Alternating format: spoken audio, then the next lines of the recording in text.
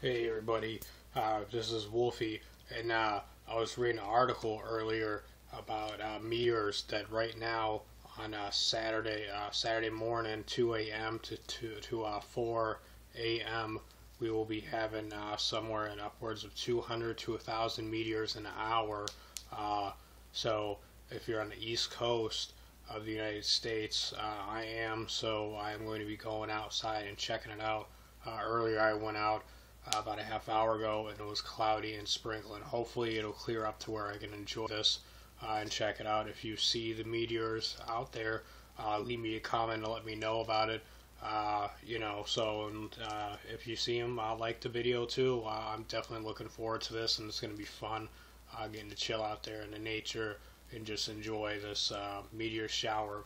hundreds to a thousand meteors in an hour uh, between 2 a.m. and uh, 4 p. Uh, 4 a.m. Eastern Standard Time here in the U.S.